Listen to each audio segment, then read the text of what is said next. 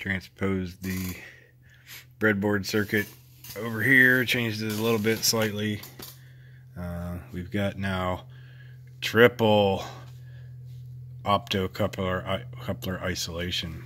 So the Schmitt trigger output 7414 here goes to the opto, the first two optocouplers, and those can be seen with the light here, trigger indicated pulse. Independently, they're upgraded from a 1K to a 2.2K anode load resistor.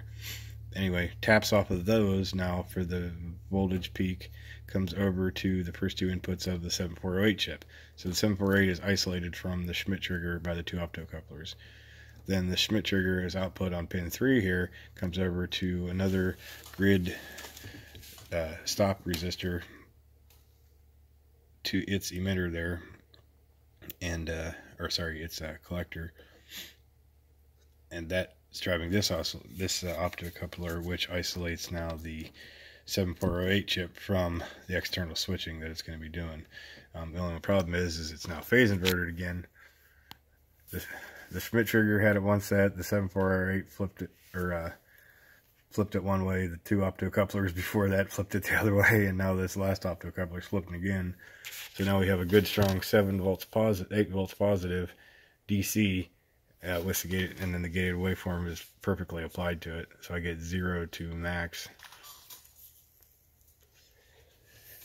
with, uh, I think I could even measure,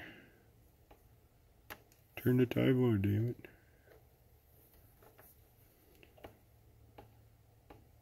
Huh, it doesn't want to work. Why?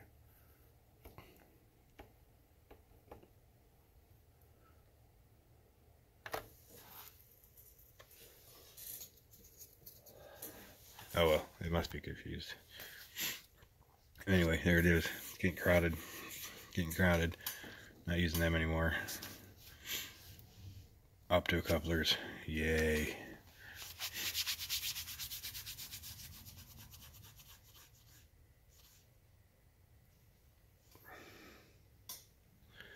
Yeah, let's get it. I gotta figure out what I'm gonna do for terminals.